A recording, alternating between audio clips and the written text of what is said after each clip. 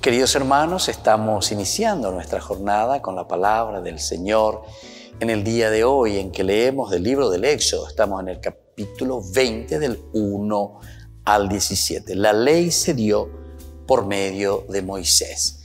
Estamos hablando nosotros de lo que conocemos más como los diez mandamientos, el decálogo vaya peñan de lleva, porque estas reglas y estos mandamientos son ayuda, hay que tu ella hay ayuda memoria, lleva. Ya de güero mandu a porque ya digo ya igual indica tu jala ya yuca, por ejemplo, que no tenemos que robar, diga y la ñamonda, la de la pisame, diga y la ñane pie, diga tú la yare y peñan de sija peñan de rube, ¿verdad? Se dan cuenta que todos estos elementos que disponemos aquí, las leyes, los mandamientos, están siempre al servicio de la comunidad. Porque la sese mondano, ¿a quién le estoy perjudicando? Y le estoy perjudicando a un hermano, le estoy perjudicando a una sociedad. Si yo robo ahí, como se robó hace poco, unos cables, no sé qué cosa, ahí, de toda una lumínica, más la perjudica, y a toda la sociedad estamos, estamos dejando oscuras, y así sucesivamente.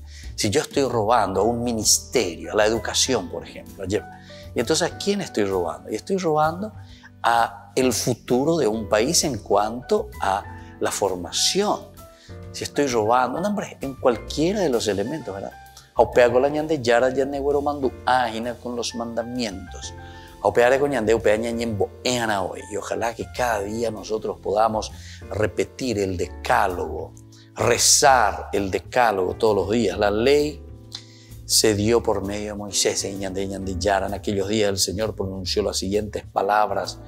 Yo soy el Señor tu Dios que te saqué de Egipto de la esclavitud. No tendrás otros dioses aparte de mí.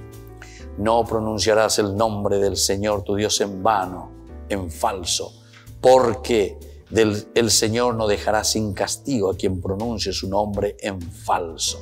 Y así sucesivamente. Queridos hermanos, pidamos esa gracia para nuestra vida, entender que es un Dios que nos ama, que nos quiere y que nos da las reglas y las normas para que nosotros podamos ser felices en sociedad.